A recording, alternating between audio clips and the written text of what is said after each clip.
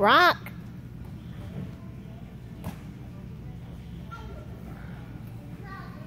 You can stand up on her body.